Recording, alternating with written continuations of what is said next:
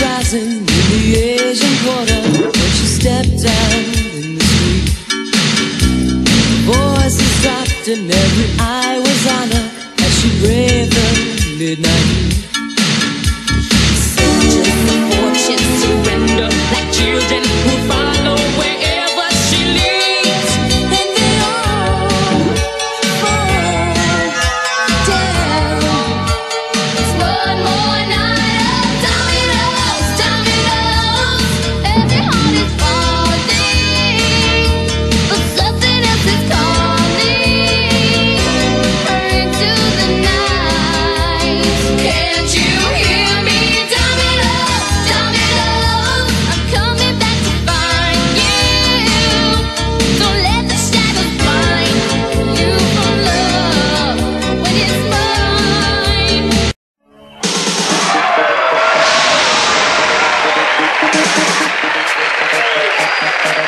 Everybody do.